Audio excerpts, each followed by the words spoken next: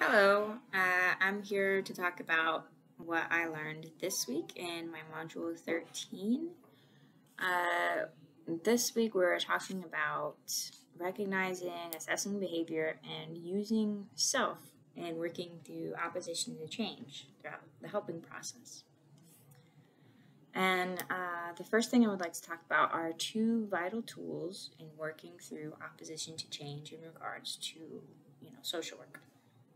So, uh, two vital tools in working through opposition to change I learned this week are one, uh, motivational motivational interviewing or change talk, and this is an uh, it's a client centered directive.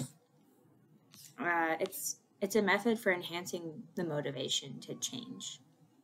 Uh, this method is a way to give the client autonomy for change, but is still somewhat confrontational about what the client is doing to hinder the helping process. So you still, you know, come off because when you when you need change, there is some sort of confrontation that has to happen in order for change to occur.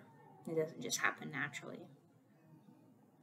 Uh, so that is one really interesting tool that I, I learned was the motivational interviewing.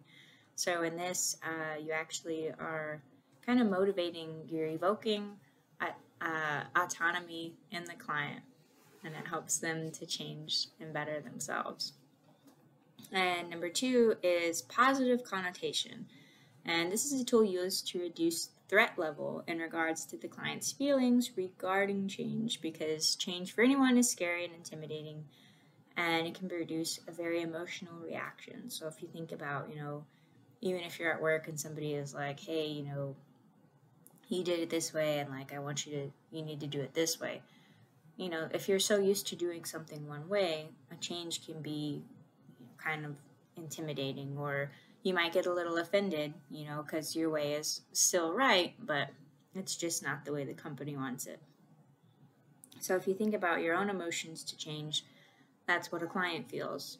Uh, this technique, the positive connotation technique, will allow you to explore not only the client's perceptions of the change, but it'll also help you explore your own behavior.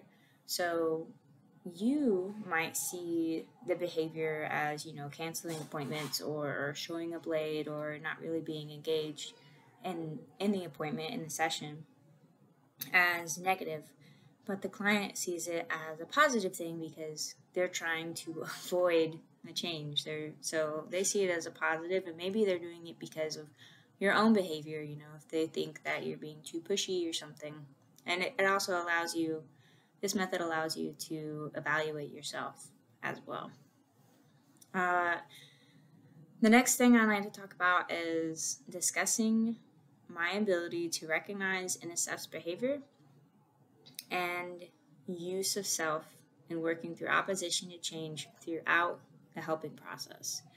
So I had to do a skills development exercise this week where um, I had to assess certain behaviors and then come up with what I would say as a social worker to some of those behaviors. So let me give you an example. Okay, so uh, in one of these, the client, after she had an emotional prior session, this session, you know, she yawns, she looks out the window, and she says, you know, oh, there's not much to talk about. You know, not much to talk about this week, not anything happened. And the behavior that she is engaging in is actually disengaging from the social worker and holding back from not wanting to further the discussion of what happened last week. And my possible change strategy that I came up with was the motivational change strategy. So, evoking the client to explore her emotions and feelings about the previous week will assist her in wanting to open up this week. And so that was one of the examples that I had.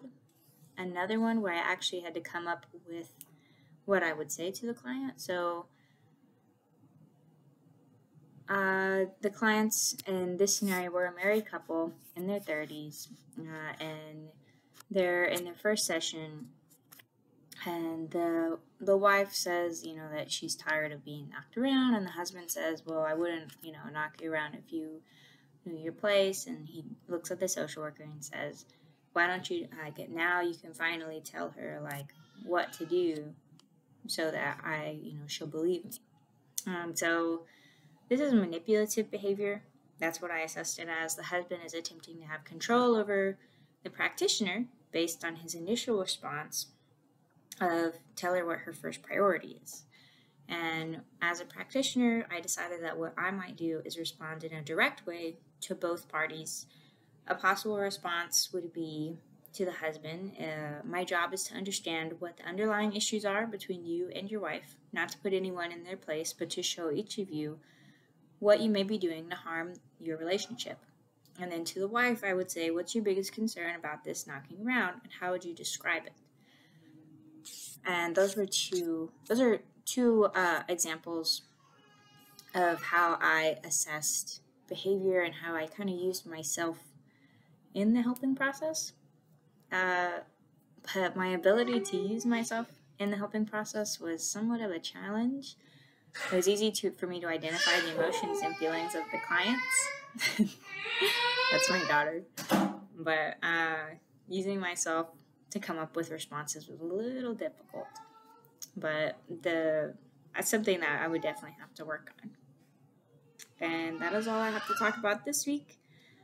Uh, thank you for stopping by and listening. Have a great day.